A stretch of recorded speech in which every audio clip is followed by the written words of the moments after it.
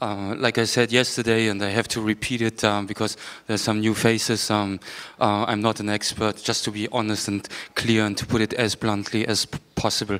Um, I'm not an expert at all concerning the topic of this uh, uh, symposium, but nevertheless, I feel uh, grateful um, participating for being invited by Wenzel and uh, the Goethe Institute because um, I think as a philosopher, in a way, even if I'm not an expert, uh, I have to deal with this topic, and uh, but I do it as someone who does not know much uh, about it, and um, and um, um, so, uh, like I said yesterday, um, I think uh, the question of surveillance uh, is in the very core, in the very center of the philosophical experience of the human subject um, as such.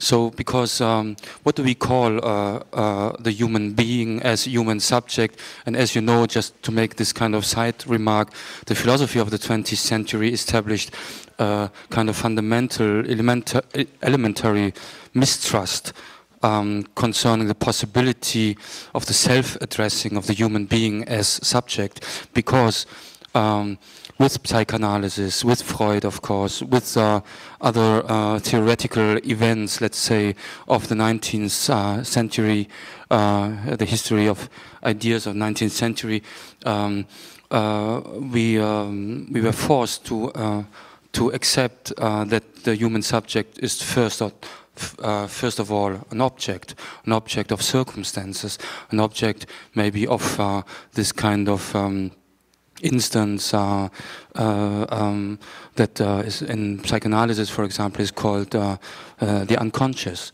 or unconsciousness like this, right? And uh, and then there's we are of course, like I said yesterday, uh, codified or determined or affected by uh, anonymous structures um, that we do not control. So we are much more like controlled by uh, uh, by given structures, by given codes, by culture like it is, by social political um, um, uh, facts, um, then controlling um, our world and ourselves. you know, so we are much, much more objects within this established uh, reality field than being a subject controlling this field and so on. And I think uh, um, uh, simplifying, um, it's possible to say that um, the philosophy of the 20th century dealt with the simple fact that uh, the human being seems to be a fact among other facts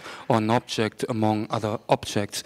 And uh, not, it's not so much a subject controlling uh, its reality and controlling itself. It is controlled. It is not only surveyed, it is controlled, it is determined, it is affected by structures that it does not control so much itself. And, uh, and of course, you know this sequence um, of the history of um, philosophy of the 50s and 60s that is called structuralism.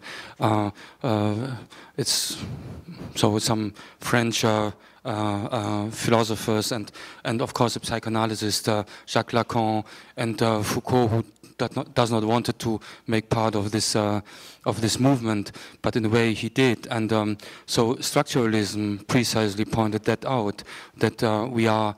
Um, uh, spoken by language, by speaking, by using language. We are like uh, controlled by structures um, uh, instead of controlling uh, them uh, ourselves. And um, so, and that was, of course, uh, also an event in the philosophy, the, um, in the French philosophy um, uh, of the 20th century, um, because um, the structuralism was a precise, was in a kind of opposition to Jean-Paul Sartre, uh, who was born in 1905 and who died in 1980. And Jean-Paul Sartre, uh, uh, like you know, uh, like you might know, um, was pushed back to the 19th century by, for example, Michel Foucault. Michel, Michel Foucault, who was a that uh, kind of very violent character and uh, said about Sartre, Sartre is a man of the 19th century and uh, Sartre is someone who still belongs to uh, an old tradition that is a 19th century philosophy. And what does it mean? It simply means Sartre still believes in freedom. Sartre still believes in responsibility. And as you know, uh, a kind of freedom, a minimum of freedom, is the very condition of responsibility. If there's no freedom at all, there's no responsibility.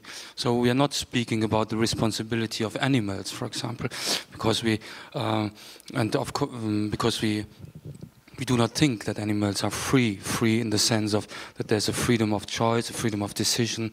Um, so, and if this freedom does not exist, um, there is no uh, responsibility at all.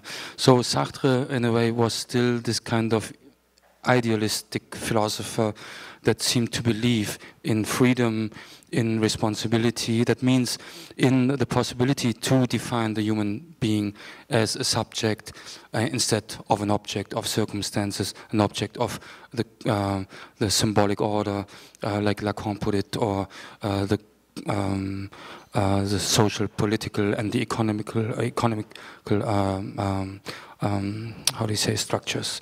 And um, I think this is a, a, a crucial um, uh, uh, how do you say, um, moment in the philosophy of the 20th century that uh, um, Sartre is, or the philosophy of Sartre, uh, that means freedom and responsibility are not longer an option for many of these uh, philosophers that are um, called um, structuralist uh, or philosophers that are, um, how to say, familiar to this um, this movement that is called structuralism and even neo-structuralism or post-structuralism and so on. And uh, yesterday I spoke about I used the term of freedom and I said uh, I, I, was quoting uh, uh Nietzsche who uh, uh, who used this um, this formula of um, the the growing desert the desert is growing, and I mentioned, of course, this uh, well-known formula of the death of God uh, that everybody everybody knows, even if you uh, uh haven't read Nietzsche. Um, everyone knows it's like with the cogito ergo sum concerning Descartes. You know that. Um, Nietzsche is the guy who pointed out, and of course he's not the only one, God is dead. What does it mean, God is dead? Yesterday I said, God is dead, that might mean that no nobody cares about me. Nobody is observing me. Nobody uh, uh, is interested in me. So uh, that would be a kind of excessive or hyperbolic freedom we are thrown in uh, uh, that uh, Sartre spoke about. And this is why I quoted Sartre yesterday and said, okay, and this is a very famous quote, of course, um, that uh, nous sommes condamnés à être libres, uh, like he says in French, uh, we are condemned to be free. And what does it mean? Condemned to be free might mean, in the context of our symposium, we are condemned to be uh, not interesting at all for nobody even not for NSA. And so we are observed and we are, there are the secret agencies, they're collecting informations. But I think the real desert uh, um, we are not ready to accept is that um, even if they collect so many information and uh, um, and even if um, these services uh, might work quite well, um, there's no mastermind behind. Uh, so at least this is my proposition, the uh, classical term for the mastermind, of course, in our Christian uh, theological, onto-theological, cultural Western tradition is God. So, and as long as God exists, there's someone who cares about me, at least for punishing me after death.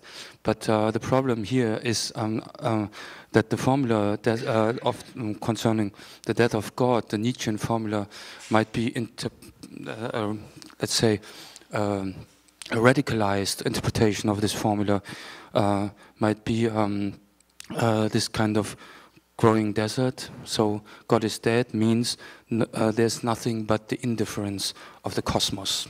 There's nothing but um, ontological indifferent, in, uh, in, indifference, indifference, and uh, nobody cares. And I think um, not to deal with this insight um, uh, means uh, to invent, like I said yesterday, substitutions uh, for the dead God. And NSA might be a kind of substitution.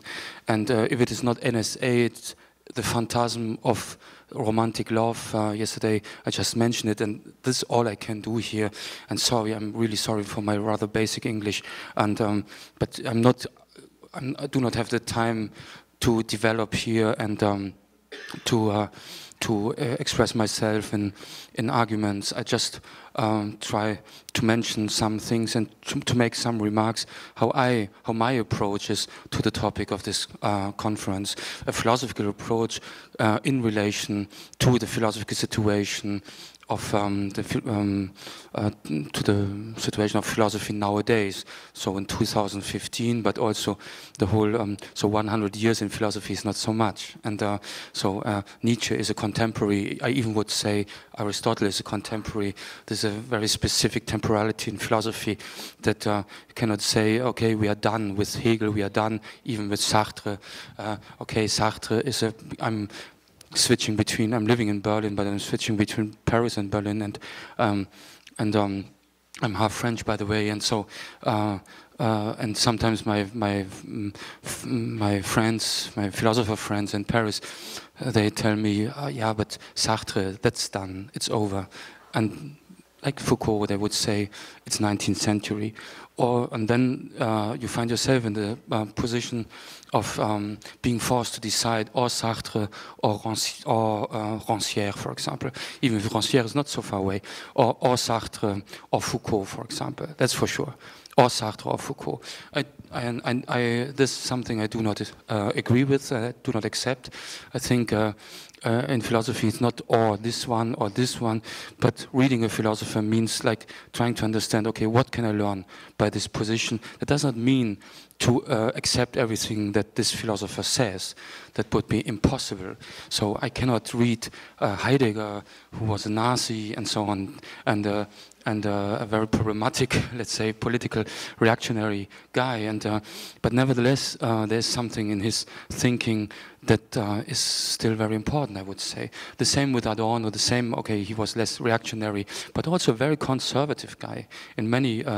Uh, points. So um, and uh, the same. Okay, with Sartre, people say, okay, Sartre um, uh, made so many like political mistakes concerning uh, his uh, relation to um, communism, of Foucault uh, concerning uh, the Iran and um, and uh, Ayatollah Khomeini and so on, or nowadays Alain Badiou, who's uh, contemporary philosopher still alive in Paris and he, who is still a Maoist. And I think this is very interesting. I'm not cynical here, but I think you will not find someone who is totally free of any contamination by ideology. This is what I tried yesterday to say yesterday. And I'm not cynical. I try to be as less cynical as possible.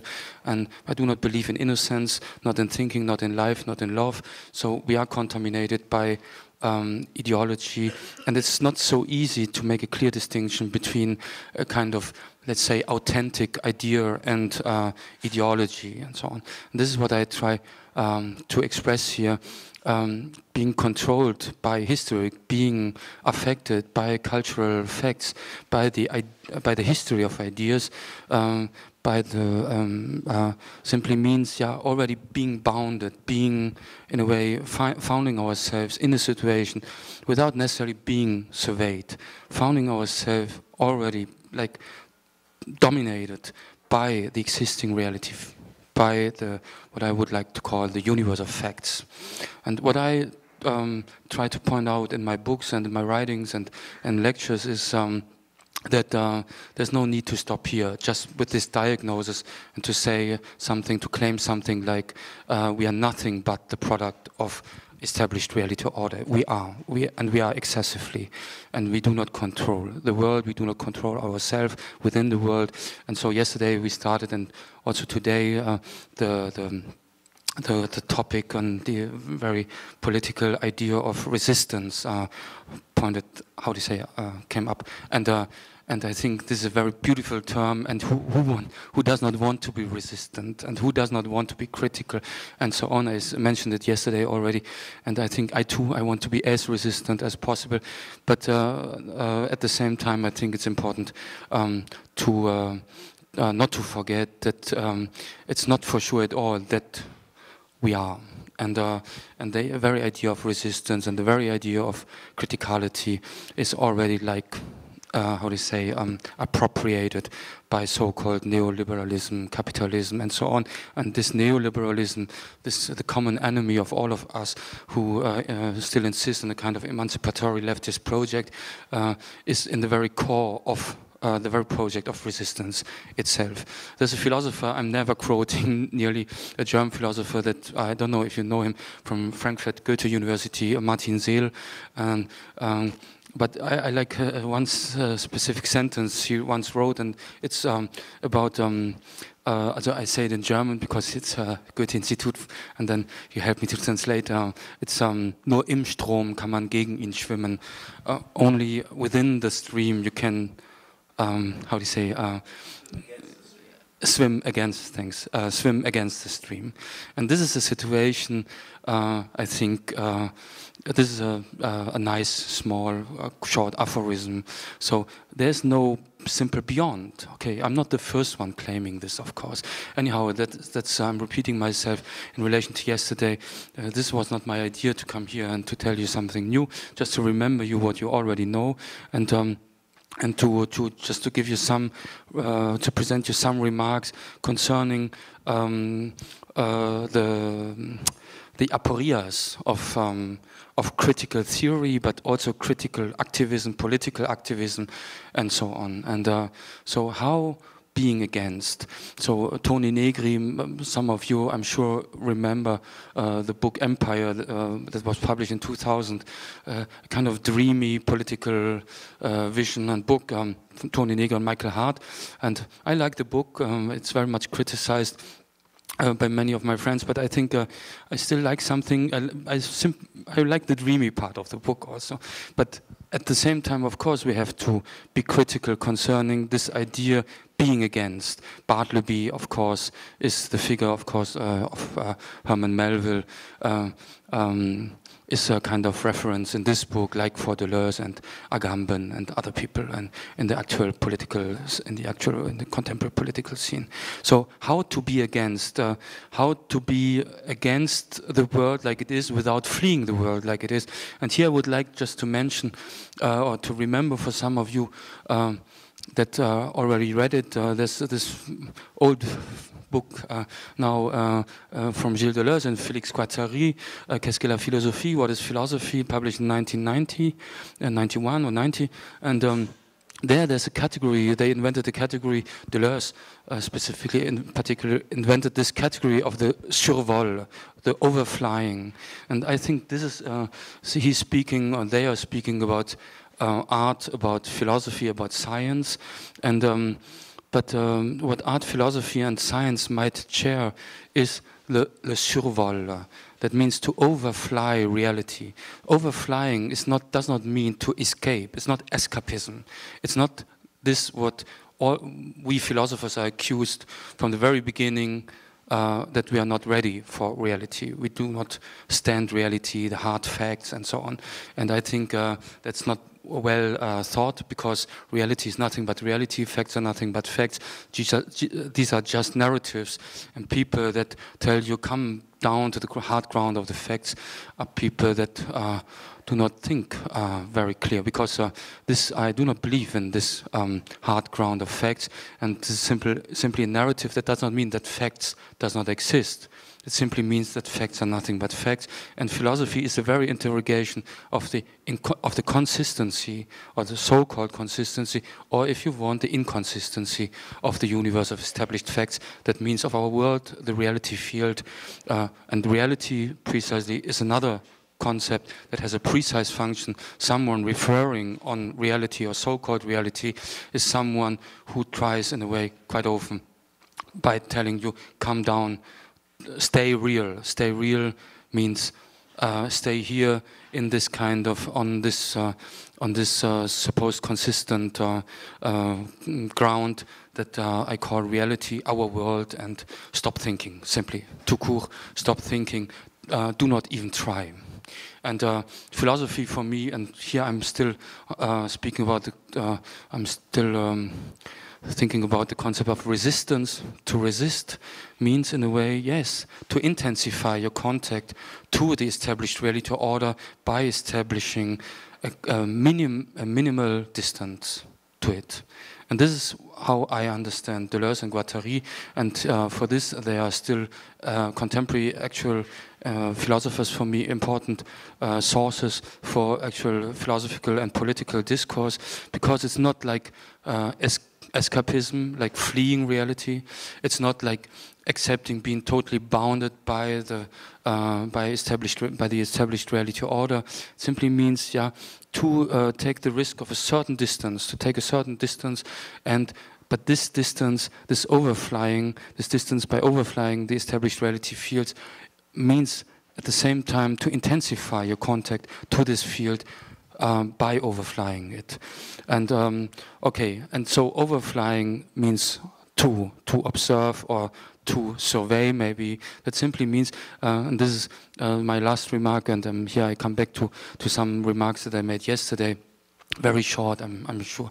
That it's, not satisfying what I'm saying. Um, but uh, uh these are just remarks. And um, but uh, yesterday I said it already um, that um, there's this idea uh, of surveillance and observation uh, or the topic of surveillance and observation is in the very center of the critical project that is associated with what we call enlightenment or Aufklärung in German um, or uh, Les Lumières in French. And yesterday I mentioned also the concept of evidence and transparency.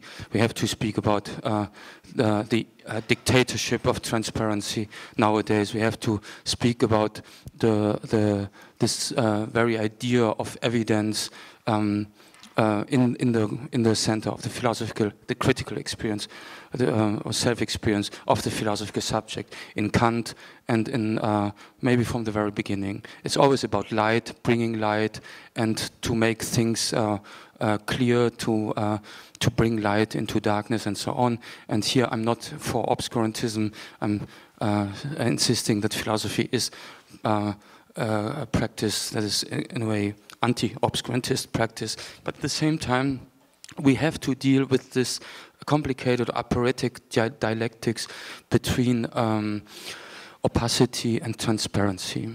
So the question is not I'm for this or for this, and this is what we of course learned by uh, all important philosophers. Heidegger, like Adorno and Horkheimer, with the dialectics of enlightenment.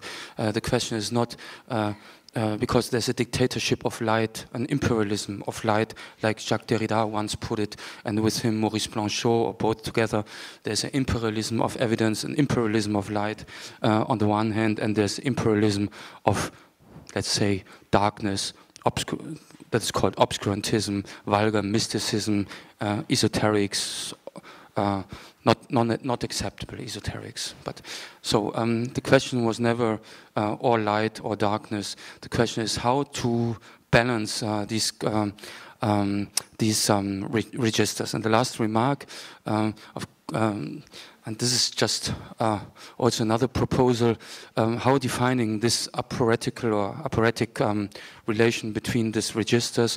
In Heidegger, of course, is lethe and aletheia. It's openness on the one hand and, and, and uh, closure on the other hand, these kind of ontological, quasi-ontological uh, registers. And my proposal would be um, to think about um, the uncertainty relation, of course, in quantum physics. And, uh, and like you know, uh, there's this uh, idea in Heisenberg in 27 um, that it's not possible for the same moment to, to define for the same moment with the same exactitude, yeah, uh, pre precision uh, um, to localize and um, uh, an electron and um, to define its, uh, how do you say, uh, its spin, I think. And uh, so to translate this uh, into the aporetic dialectics between um, light and darkness or openness and closure, it would simply mean, oh, we are in, we are not possible for the same moment. It's, it's, it looks like that. It looks like that for the very same moment, or we are too much in the affirmation, of um, the dark and inconsistent sides of the so-called reality field, or we uh, we are on the opposite side and in a kind of blind affirmation of so-called evidences, evidences and certainties by ignoring uh, the very ontological inconsistency of uh, these certainties and evidences uh, uh itself. Okay, my English was very poor. Sorry, sorry.